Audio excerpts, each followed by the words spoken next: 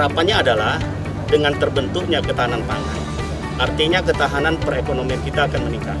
Manakala ketahanan ekonomi itu terbentuk, pasti akan bisa membentuk ketahanan ideologi, ketahanan politik, ketahanan sosial budaya, dan ketahanan keamanan negara. Kenapa demikian?